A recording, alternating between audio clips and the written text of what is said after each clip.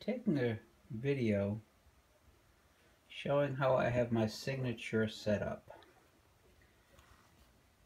Power supply going into the power video cable plugged into yellow. My capture device is plugged into the side of the computer. You can see the light is green indicating it's getting a video signal. The other connection is the control cable that I made out of some old phone line. And I have it tied onto that little adapter. You can see where I have the wires hooked. On the other end,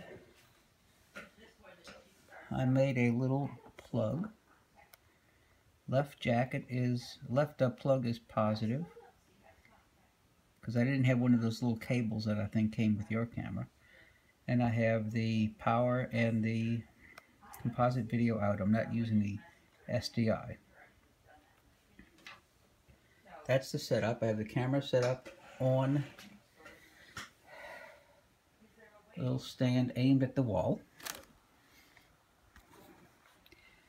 you can see I have an image of a silver teapot in the Honestech software that came with it. And I'm using the signature camera control with protocol. And if I and I have it connected to COM port 4